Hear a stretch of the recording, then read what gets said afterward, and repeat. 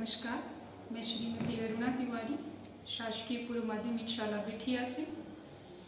S द्वारा संचालित पढ़ई तुहर द्वार कार्यक्रम के अंतर्गत आज कक्षा छठवीं, हिंदी, पाठ सात, समय नियोजन कराने वाली हूँ। सभी बच्चों का इस क्लास में स्वागत है। आप सभी जो है आज हमारे साथ हम सब मिलकर के समय का नियोजन कैसे करें, इसको सीखेंगे। समय नियोजन कैसे होता है? नियोजन का मतलब है उसको सही तरीके से उपयोग में लाने के लिए व्यवस्थित करना। आइए देखते हैं इसके लेखक हैं श्री समर बहादुर सिंह जी। उन्होंने हमें समय का नियोजन करने के बारे में इस पाठ में बताया है। प्रस्तुत पाठ में लेखक श्री समर बहादुर सिंह ने मानव जीवन के लिए समय नियोजन की आवश्यकता तथा उसके महत्व को बताते हुए स्पष्ट किया है कि अपनी व्यस्तता का प्रदर्शन करने वाले ही समय के अभाव का बहाना बनाते हैं। लेखक का कहना है कि ऐसे लोग, जो कि ये दिखावा करना चाहते हैं कि वे बहुत व्यस्त हैं, बहुत ज़्यादा बिज़ी हैं तो वही लोग ऐसा बहाना करते हैं कि उनके पास समय नहीं है, समय की कमी है। कहने का मतलब ये है कि समय वास्तव में किसी के पास नहीं होता है, ऐसा तो होता ही नहीं है। क्योंकि ये जो पूरे दिन भर, दिन रात मिला करके 24 घंटे सभी के पास होते हैं। लेकिन इसी में कुछ लोग बहुत ज़्यादा काम कर जाते हैं और कुछ लोग केवल समय की कमी का बहाना बनाते रहते हैं। वास्तव में जो अपने कर्म के प्रति निष्ठावान होते हैं वे अत्यधिक व्यस्त रहते हुए भी अपने सभी कार्यों के लिए समय निकाल ही लेते हैं।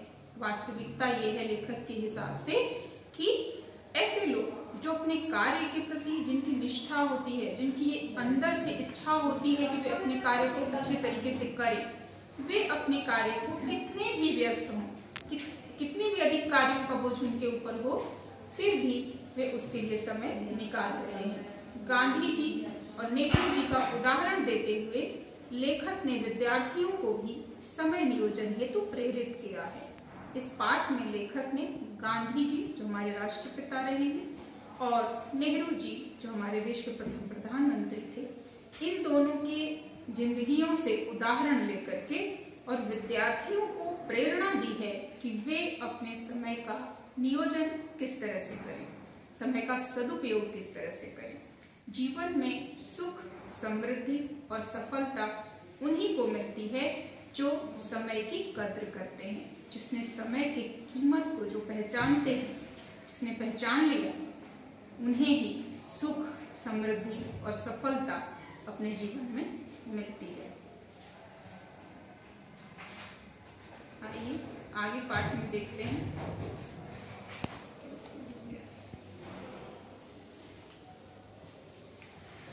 हम अक्सर शिकायत किया करते हैं समय के अभाव की। लेखक कह रहा है कि हम सभी किसी भी महत्वपूर्ण कार्य के छूट जाने के लिए ऐसी ही शिकायतें करते हैं कि हमें समय नहीं मिला या हमारे पास समय ही नहीं था। समय के अभाव की, समय न मिलने की। पत्र का उत्तर न दे सका, समय अभाव के कारण। कसरत नहीं कर सकता, समय न मिलने के कारण। यानी कि कोई भी काम, जैसे हमने चिट्ठी का उत्तर नहीं दिया पत्र का उत्तर नहीं दिया सही समय पे, या फिर कसरत नहीं किया जिस दिन छूट गया तो ये सबको हम जिम्मेदार बता देते हैं, समय। समय नहीं था हमारे पास, कि समय ही नहीं था, इसलिए ये काम हमने नहीं मतलब हमसे छूट गया, हम नहीं कर पाए इसको। किंतु यदि हम सही ढंग से आत्मविश्लेषण करें, हम खुद को टटोलें, ये देखें सही तरीके से तो पाएँगे कि हमारी ये शिकायतें अक्सर गलत होती हैं। हमारी ये शिकायतें लगभग हमेशा ही गलत होती हैं। हम अपने को समझ नहीं पाते और तभी ऐसी शिकायतें करते हैं। इसमें कारण क्या है कि हम खुद को ही नहीं समझ पाते हैं कि हमारे लिए आवश्यक क्या है, क्या हमें कब करना चाहिए। इसीलिए हम ऐसी शिकायतें करते हैं। यह हमारा आलस्य है। वास्तव में क्या है? ये हमारा आलस है। हम समय का सदुपयोग नहीं करते, आलस करते रहते हैं, जिस वजह से हमें ऐसी समस्याओं का सामना करना पड़ता है। जो सदैव समय के अभाव की दुहाई दिया करता है, ये हमारा आलस्य है। आलस्य ही समय के कमी का रोना रोता रहता है। वस्तुतः कोई भी ऐसा व्यक्ति नहीं है जो व्यस्तताओं के बीच भी उन कामों को न कर सके, जिसे वह करने पर उतारू है। लेखक के अनुसार वास्तव में ऐसा कोई भी व्यक्ति नहीं है जो कि दूसरे काम में व्यस्त होने के कारण ऐसे काम को न कर सके, जिसको करने की उसकी अंतर्मन से इच्छा है, जो ज़रूरी है, जो करने के लिए वो उतारू है। जैसे कि जो काम तुम्हें बच्चों को ही पसंद होता है, जैसे मान लो क्रिकेट खेलना है, किसी का मनपसंद काम है और उसको खेलना है, उसने तय किया है कि तीन से पाँच आज तो क्रिकेट खेलना है तो चाहे कुछ भी हो जाए चाहे कुछ भी करना पड़े, वो तीन से पाँच क्रिकेट अवश्य ही खेलता है। कुछ चीज़ें ऐसे सोचो, हम कभी भूलते हैं क्या भोजन करना कभी भूलते हैं? नहीं भूलते हैं। कुछ ऐसे काम हैं जो हमें कोई भी न कह रहा हो, लेकिन उससे हमें आत्मिक सुख, आनंद का अनुभव होता है तो हम उसके लिए कभी भी समय की कमी का बहाना नहीं करते मुलाकात करते थे। कितनी गंभीर समस्याओं पर सहकर्मियों से विचार विमर्श करते थे, कितनी सभा सोसाइटियों में जाते थे, फिर भी वे अपने व्यस्त जीवन में से कुछ समय अपने दैनिक व्यायाम और मनोरंजन के लिए भी निकाल लेते थे। यानी कि वो तो प्रधानमंत्री थे पूरे देश के। कितनी सारी फाइलें आती थी, उनको पढ़ना, वो सही है, गलत है, इसको जज करना, फिर उन पे साइन करना, सबको निपटाते थे।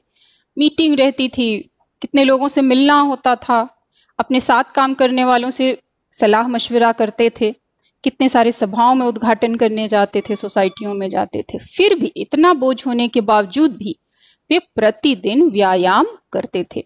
इसके लिए समय उनके पास निकल आता था। मनोरंजन के लिए भी कुछ समय निकाल लेते थे।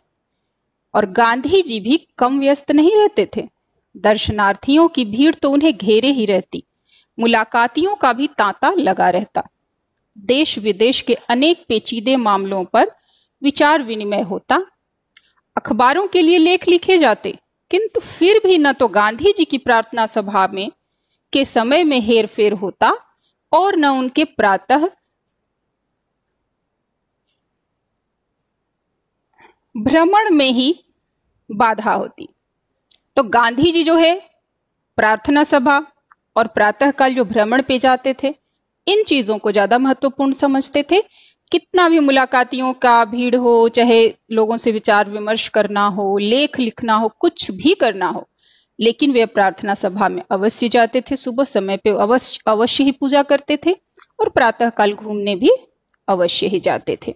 तो ये दो व्यक्ति जो व्यस्ततम व्यक्तियों में से, महान व्यक्तियों में से एक थे, वे किस तरह अपने आवश्यक काम के लिए समय निकाल थे? यही नहीं। दुनिया के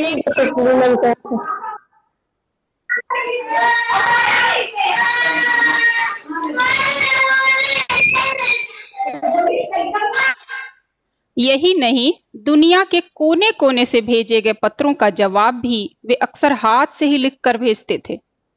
वो जमाना था जब हाथ से ही पत्र के जवाब वो लिख करके भेजते थे, प्रिंट करके नहीं भेजते थे, टाइप करा के नहीं भेजते थे, यानी उसके लिए भी वो समय निकाला करते थे।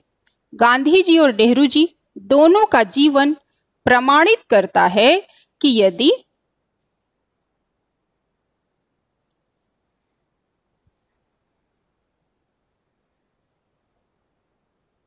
हम अपने समय को सोच समझ कर विभाजित कर लें और फिर उस पर दृढ़ता से आचरण करें। मतलब तो कठोरता पूर्वक पालन करें। अपना जो हमने समय का विभाजन किया है, अपना टाइम टेबल बनाए समय सारणी बनाई है उसको तो अपने निश्चित व्यवसाय के अतिरिक्त भी अन्य अनेक कार्यों के लिए हमें पर्याप्त समय मिल जाएगा। यानी जो हमारा रोज का काम है, उसके अलावा हम कुछ विशेष काम भी अगर करना चाहते हैं तो उनके लिए हमें समय अच्छे से मिल पाएगा। समय की कमी की शिकायत फिर कभी नहीं रहेगी। हाँ इसके लिए हमें सतत, सचेष्ट और जागरूक अवश्य रहना पड़ेगा। इसके लिए हमें लगातार प्रयत्न करने होंगे, जागरूक रहना होगा। तभी हम इस तरह के समय नियोजन के द्वारा अपने सभी कार्यों का संपादन अच्छे से कर सकते हैं। किसी ने ठीक ही कहा है, समय धन के समान है। अतः सावधानी और सतर्कता से हम अपने धन के हिसाब से समय के प्रति थोड़ी ज़्यादा ही सावधानी बरतें। कारण, धन तो आता जाता है, किंतु गया समय फिर वापस नहीं आता। समय का बजट बनाना जिसने सीख लिया, उसने जीने की कला सीख ली, सुख और समृद्धि के भंडार की कुंजी प्राप्त कर ली। इसका मतलब है कि किसी जानकार व्यक्ति, महान व्यक्ति, विचारवान व्यक्ति ने कहा है कि समय धन के समान है। जैसे धन हमारे पास अगर तुम्हारे पास दस रुपए आते हैं तो तुम कैसे करते हो? कोई चीज़ जाते हो बस दस रुपए में मिली और खरीद लिए फिर दूसरी चीज़ देखने का मन किया तो ऐसा नहीं करते। पहले ही तुम ये सोच लेते हो दो रुपए की चॉकलेट लेंगे फिर पाँच रुपए की लेज लेंगे फिर दो, दो रुपए का फुग्गा लेंगे ऐसे करेंगे फिर एक रुपए का वाला गेम खेलेंगे। इस तरह की चीज़ें तुम लोग पहले ही तैयार कर लेते हो कि इस दस रुपए को हमें कैसे अधिक से अधिक काम इससे कर सके, इसके लिए कोई तुम्हें सिखाता समझाता नहीं है। लेकिन तुम खुद ही डिसाइड कर लेते हो कि इस दस रुपए में तुम कैसे अधिक से अधिक काम अपने मन का कर सकते हो। वैसे ही सावधानी के साथ और सतर्क रहकर धन के को जैसे हम हिसाब से करते हैं, वैसे ही समय को भी अगर हम हिसाब से किसी भी चीज़ पर खर्च करें और थोड़ी ज़्यादा ही सावधानी रख लें तो जो है हमारा काम बन सकता है समय नियोजन का। कारण क्या है? धन तो आता जाता है, किंतु गया समय फिर वापस नहीं आता। जैसे कि अभी हम लोग दिसंबर 2020 में थे, एक महीना पहले। क्या हम कुछ भी कर लें तो वापस दिसंबर 2020 आएगा? नहीं आएगा। तो धन जो है आज दस रुपए हैं, चलो हमने खर्च कर दिए, हो सकता है दो चार दिन बाद फिर हमारे पास दस रुपए आ जाएँ। आ ही जाते हैं, दस के बजाय पचास आ सकते हैं, लेकिन समय कुछ भी करें, वापस नहीं आता है। इसलिए समय का बजट बनाना हमें सीखना ही चाहिए। तभी हम अपने जीवन में अपेक्षा अनुसार सफल हो सकते हैं। समय का बजट बनाना जिसने सीख लिया है ये समझ लो कि उसे जीना आ गया है।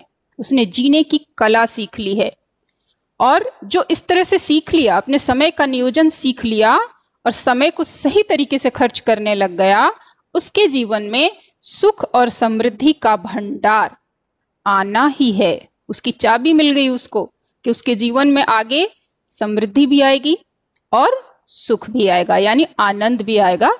उसके जीवन में वो खुश ही रहेगा। हम जीवन में क्या चाहते हैं? सुख, समृद्धि, शांति। यही ना? किंतु ये चीज़ें तभी मिल सकती हैं जब हम इनको पाने का निरंतर प्रयास करते चलें।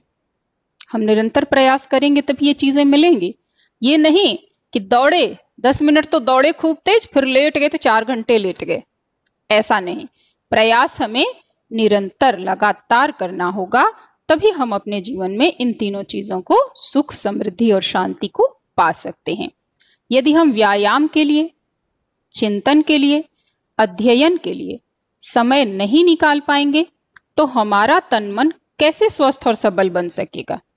व्यायाम, यानी कि जैसे तुम लोग जो कसरत करते हैं, करते हो, योगा है, योगा डे के दिन सिखाया जाता है, क्लासेस में ऐसे ऑनलाइन में भी सिखाया जा रहा है।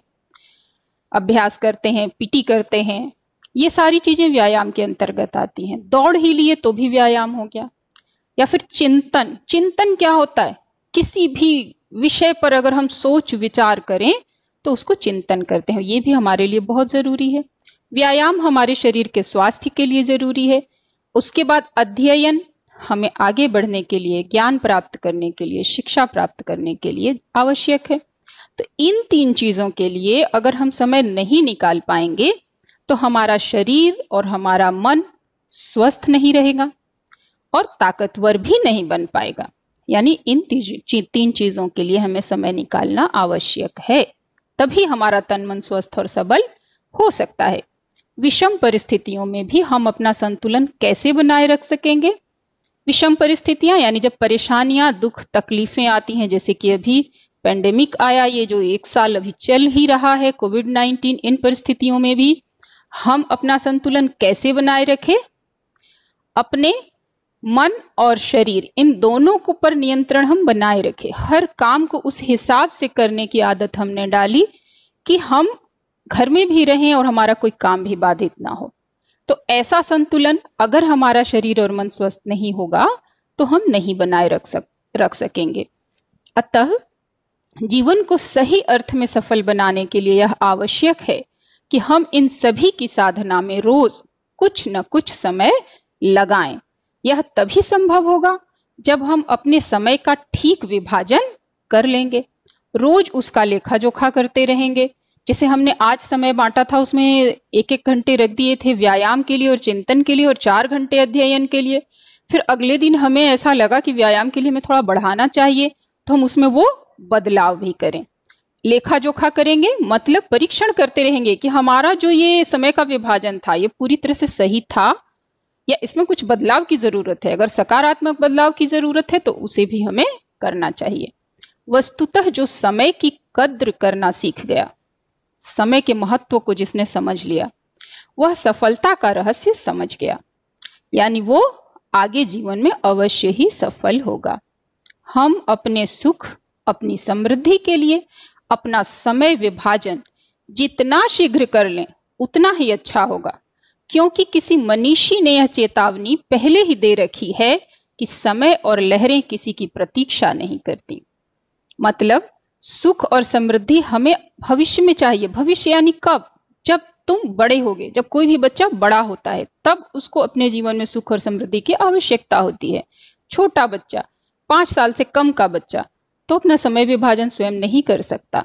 आठ दस साल की उम्र में, यानी कि जितने जल्दी आठ में, दस में, बारह में हम अपना समय विभाजन अच्छे से कर लेंगे और उसका पालन भी अच्छे से करते रहेंगे तो जो आगे का दस बारह साल है, उसमें हम इस काबिल बन जाएँगे या हमारा अपने जीवन को ऐसा बना लेंगे, बना पाएँगे कि हमारे जीवन में सुख और समृद्धि रहेगी। इसके लिए विद्वान ने पहले ही कहा है, चेतावनी दे रखा है कि समय और समुद्र की लहरें किसी का इंतज़ार नहीं करती हैं। हम चाहे सुबह उठें, चाहे सोए रहें, सुबह का छः सात, आठ, नौ, दस सब बजता ही है। ऐसा नहीं है कि समय इंतज़ार करेगा कि अभी उठेगा, अब जब उठेगा तब सवेरा होगा। ऐसा नहीं होता है। वैसे ही समुद्र की लहरें जो है, आती हैं और जाती हैं। कोई समुद्र किनारे उन्हें देखने को खड़ा हो अथवा ना हो, वो प्रतीक्षा नहीं करती हैं।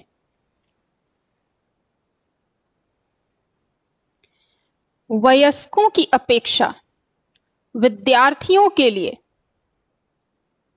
समय पालन का कई कारणों से अधिक महत्व है।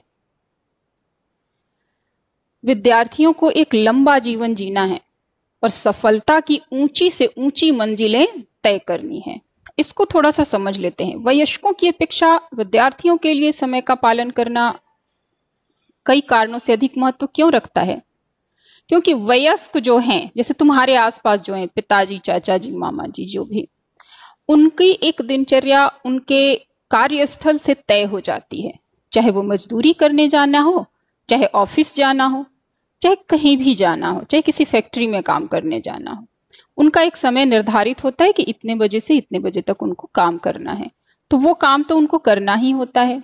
जाने के लिए, उससे पहले की तैयारी भी उनके लिए आवश्यक होती है। तो वो एक समय के समय सारणी में बंध ही जाते हैं। उनकी ड्यूटी पे निर्भर करता है, टाइम क्या है, किस समय पहुँचना है, उस हिसाब से वे अपना समय नियोजन कर ही लेते हैं और अक्सर वयस्क अपने जीवन में ढेर सारे काम नहीं करते, एक ही काम करते हैं। तो एक ही काम करने की वजह से उनको ज़्यादा मुश्किल नहीं होता अपना समय नियोजन करने में और थोड़ी आदत भी बन चुकी होती है उनकी। लेकिन विद्यार्थियों के लिए क्या होता है? विद्यार्थी, जैसे भी तुम लोग हो, बच्चे हैं, बच्चों को क्या है? रहन सहन भी सीखना है, व्यवहार भी सीखना है, स्कूल की पढ़ाई भी करनी है, कभी कहीं विज्ञान प्रदर्शनी है तो प्रोजेक्ट भी बना के लेके जाना है, अपने सभी रिश्तेदारों से भी कैसे मिलना है, बात करना है, सीखना है, यानी उनके जीवन में कार्यों की विविधता ज़्यादा है और उसकी आदत कम है, समझ कम है। तो इसलिए उनको समय पालन का उनके लिए ज़्यादा महत्व है। उसके अतिरिक्त उनका शरीर अभी पूरी तरह से विकसित हुआ नहीं होता है। वे जिस तरह के अभ्यास एक्सरसाइज प्राणायाम या योगा, जो कुछ भी अपनी आदत में शामिल है, वो करते हैं, उसी पर उनके शरीर का विकास निर्भर करता है। उनके भोजन पर उनके शरीर के की शक्ति जो है, कैसा होगा, मज़बूत होगा या नहीं होगा, ये चीज़ निर्भर करता है। तो इधर तो शरीर जो है जीव, जैव वैज्ञानिक तरीके से उसको भी बढ़ना है, मस्तिष्क है उसको भी बढ़ना है, उसके अलावा पढ़ाई में भी उसको आगे बढ़ना है। यानी कि उसको कई दिशाओं में विकास करने की आवश्यकता होती है। इसलिए विद्यार्थियों के लिए समय पालन का ज़्यादा महत्व होता है। उनका जीवन भी आगे लंबा जीना होता है। अब जो 40 साल का व्यक्ति हो गया, क्या पता उसको 20 साल जीना है या 50 साल जीना है, कुछ नहीं पता, कुछ निश्चित नहीं। लेकिन जो भी 10 साल का बच्चा है, उसका तो निश्चित है कि कम से कम 50 60 70 साल तो भी और जीना है उसको। तो लंबी ज़िंदगी के लिए तैयारी हम पहले से अगर अच्छे से करें और अपनी ज़िंदगी को शुरुआत से ही हम अच्छा बना लें तो आगे हमारे जीवन में तनाव कम होगा। उसे सफलता की ऊँची से ऊँची मंजिलें तय करनी है। हमें पता नहीं है कि कौन सा दस साल का बच्चा आगे जाकर के प्रधानमंत्री बनेगा, आगे जाके मुख्यमंत्री बनेगा। आगे जाके कलेक्टर बनेगा। आगे जाके मजदूर भी बने अगर, पर एक अच्छा इंसान तो शायद सब बनेंगे। तो इसलिए कौन किसको क्या करना है, ये किसी को नहीं पता, न बच्चे को, न शिक्षक को, न उसके माता पिता को। वो जिस तरह का अपना समय नियोजन करेगा अभी विद्यार्थी जीवन में, उसका आगे का जीवन उन्हीं बातों पर निर्धारित होगा। और दूसरी बात यह है कि विद्यार्थी जीवन में ही, यानी जब अभी पढ़ाई कर रहे हैं, यानी 10 साल से लेकर 20 साल तक की उम्र में ही, हमारे जीवन में जो हमें आदतें पड़ जाती हैं, वे पूरी ज़िंदगी हमारे साथ जुड़ी हुई रहती हैं। आसपास के लिए तुम लोग जो देखते होगे, उसमें देख सकते हो कि कुछ बच्चे जो है, कुछ गंदी आदतें पकड़ लेते हैं, कोई पाउच खरीद के खाने लगता है, बूढ़े होते तक, मरते तक छूट नहीं पाता उसका। वैसे ही अगर हम व्यायाम करने की आदत डाल लें अगर हम दूध डेली सुबह पीने की आदत डाल लें तो शायद जीवन भर ना छूटे। तो ये चीज़ें हैं अच्छी आदतें। अगर इसी उम्र में हमने डाल ली समय नियोजन के साथ अच्छी दिनचर्या अपनी निर्धारित कर ली तो आगे पूरा जीवन हमारा अच्छा रहेगा। विद्यालय में छा, छात्रों को समय तालिका दी जाती है। सभी विद्यालयों में समय तालिका दी जाती है जिसमें कि यह निर्धारित होता है कि किस समय विद्यालय पहुँचना है फिर प्रार्थना करना है प्रार्थना के बाद सुविचार का समय आता है। सुविचार के बाद फिर प्रथम जो पहला पीरियड होता है वो इस विषय का है। चालीस मिनट के लिए एक विषय है, फिर दूसरा विषय, फिर शॉर्ट ब्रेक, फिर तीसरा, इस तरह से करके पाँच छः घंटे जो स्कूल के होते हैं, उनके लिए समय निर्धारित शिक्षकों, प्रधानाचार्यों, प्रधान पाठकों द्वारा कर दिया जाता है। तो उतने समय में सभी बच्चे उस समय तालिका के अनुसार ही कार्य करते हैं।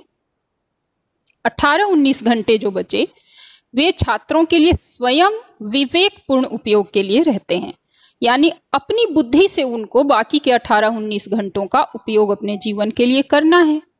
यदि वे इस समय का सही उपयोग करें तो उनको क्या पाँच छह घंटे तो स्कूल ने निर्धारित कर दिया विद्यालय में हो गया।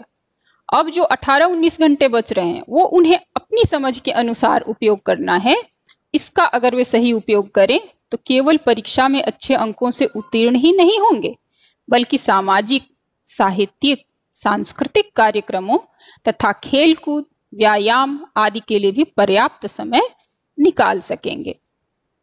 समय तालिका बनाने के बाद उसका दृढ़ता और निष्ठा के साथ पालन करना भी आवश्यक है। अब ऐसा नहीं है कि हमने कागज़ पे लिख तो दिया 18-19 घंटे, मैं एक घंटे ये करूँगा, दो घंटे ये करूँगा, ऐसे। इस समय सामाजिक गतिविधियाँ करनी है। इस समय साहित्य की पुस्तकें पढ़नी है हमें। इस समय डांस का प्रैक्टिस करना है। लिख के रख दिया। हो गया। ऐसा नहीं होता है। सिर्फ़ समय तालिका बनाना ही नहीं होता है। या फिर बना लिया है आज पालन किया बड़े जोश के साथ। अगले दिन भी दो चार दिन किया, फिर उसके बाद अरे कुछ नहीं होता। करके फिर आलस करना शुरू कर दिया। तो वैसे भी कुछ काम का नहीं होगा। वे काम का तभी होगा जब हम दृढ़ निश्चय, यानी कि ये करना ही है, रोज, प्रतिदिन करना है।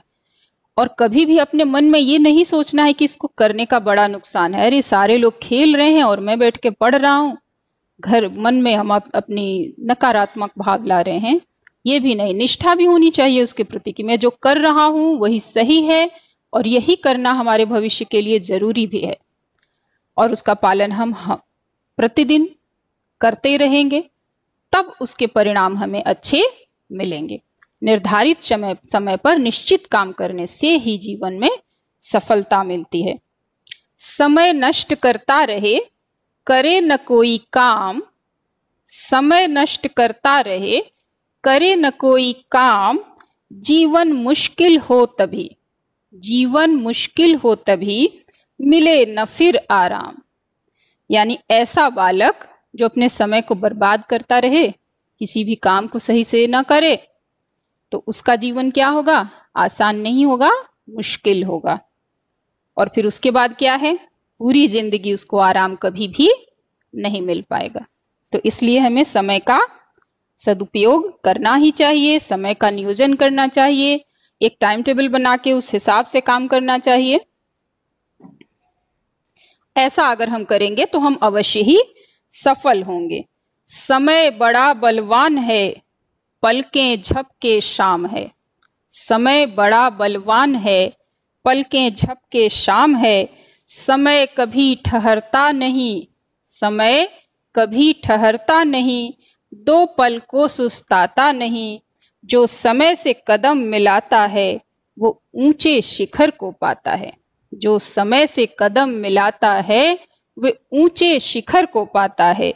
समय की जिसने कदर की, वही जीवन सुख को पाता है। तो इस तरह से समय, क्योंकि किसी के वश में नहीं है, हम अगर सोए रहेंगे तो सोते सोते शाम हो जाएगी। समय किसी के लिए रुकता नहीं है, आराम नहीं करता है। इसलिए समय तो हमारे लिए नहीं रुकेगा। हमें कदम बढ़ा के समय को पकड़ना है। तो समय के साथ अगर हम कदम मिलाएँगे, तभी ऊँचे शिखर को पा सकते हैं। और समय की जिसने इज़्ज़त करी, समय का सम्मान करा, वही जीवन में सुख को पाता है। तो मैं आशा करूँगी कि सभी बच्चे इस पाठ को पढ़ने, सुनने के बाद समय का कद्र अवश्य करेंगे और अपनी एक दैनिक समय सारणी बनाकर उसका पालन करेंगे। अब आप लोगों के लिए गृह कार्य के ये कुछ प्रश्न हैं जो पुस्तक से ही हैं। इनको करके शेयर करेंगे सभी। पहला है, आप पठन पाठन के लिए अपने समय का नियोजन किस प्रकार करते हैं? एक रूपरेखा बनाइए। इसमें आपको सुबह आप जितने बजे उठते हो, उस समय से शुरू करना है और रात को जितने बजे सोते हो, उस समय तक पूरा। रात को कितने घंटे सो रहे हो? ध्यान ये रखना है कि 24 घंटे में सोने का समय 8 घंटे से अधिक नहीं होना चाहिए। अब दूसरा है समय और लहरें किसी की प्रतीक्षा नहीं करती हैं। अब आप कोई ऐसी घटना बताइए जिसमें समय निकल जाने के बाद आपको पछताना पड़ा हो। कभी ऐसा हुआ होगा शायद, सभी की ज़िंदगी में कभी न कभी ऐसा होता है कि वो आलस किया, समय का ध्यान नहीं रखा तो किस, कोई भी ऐसी इंपॉर्टेंट चीज़, आवश्यक कार्य या फिर आवश्यक बात जो वो करना ही चाहता था, लेकिन उसको वो उससे छूट गया हो, न कर पाया हो। तो उसके बाद बाद में पछताते हैं। तो ऐसी कोई भी घटना जो तुम्हारे स्वयं के साथ हुई हो, इसका वर्णन करना है। तीसरा है, अपने आसपास के परिवेश में ऐसे लोगों के बारे में बताइए, जिन्होंने कठिन परिस्थितियों के बाद भी समय की कद्र करके अपने को सफल बनाया तथा समाज में अपनी पहचान बनाई। ऐसा कोई ना कोई व्यक्ति हमारे आसपास अगल बगल अवश्य ही होता है। कोई जो जिसके पास पैसे नहीं होते पढ़ाई के लिए या फिर कोई भी काम करने के लिए मुश्किल वक्त होता है, कुछ ऐसा, फिर भी दिक्कतों के बावजूद उनसे लड़के वो मेहनत करता है और किसी भी क्षेत्र में, मैं ये नहीं कह रही हूँ कि हर व्यक्ति करोड़पति बन जाता होगा, लेकिन एक मजदूर भी अगर सफल है तो वो सफल व्यक्ति है। अपनी ज़िंदगी अगर वो अच्छे से गुजार रहा है अपने मेहनत के बल पर तो वो भी एक सफल इंसान है। तो ऐसा जो भी आपके आसपास अगल बगल में हो, कोई भी हो सकता है, आपके पिताजी हो सकते हैं माता जी हो सकती हैं तो उनके बारे में आपको लिख के भेजना है। समय की कद्र न करने पर लोगों को कौन कौन सी परेशानी हो सकती है, ये अपने साथियों से चर्चा करने के बाद लिखना है। समय की कद्र अगर नहीं करेंगे तो हमें क्या परेशानी हो सकती है अपने जीवन में? मान लो परीक्षा का समय निर्धारित है और आप सोते रह गए परीक्षा में टाइम पर नहीं पहुँचे और परीक्षा का अंतिम पूरा निकल गया पेपर खत्म तो क्या परेशानी होगी? दोबारा फिर देना पड़ेगा ना पेपर इसलिए तो इस तरह के ही उदाहरण आपस में बात करना है और उनको लिखना है। फिर पांचवा है, समय धन के समान है, यानी जैसे धन हमारे लिए ज़रूरी है जीवन के लिए, वैसे ही समय भी हमारे लिए ज़रूरी है। इसको भी सोच समझ कर व्यतीत करना है, सोच समझ कर खर्च करना है इस प्रसिद्ध वाक्य के संबंध में तुम क्या सोचते हो? मैंने क्या बताया वो नहीं, तुम स्वयं क्या सोचते हो? वो चीज़ लिखनी है।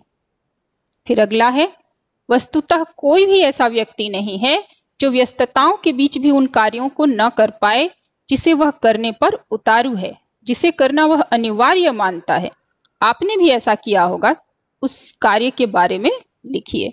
कौन सा ऐसा काम है जो कि कितना भी व्यस्त हो, कितना भी ज़रूरी हो, कितना भी समय की कमी हो, पर फिर भी तुम उसको करना ही चाहते हो। जैसे कि भोजन करना, कभी भूलते हैं क्या हम लोग? भोजन? कितने भी व्यस्त हो खड़े खड़े कर लेंगे दौड़ते दौड़ते चलते चलते उठा के पूरा एक बार में मुँह में रख लेंगे। लेकिन भूलते कभी नहीं है। तो इस तरह से ये सारे प्रश्न गृह कार्य के करने हैं।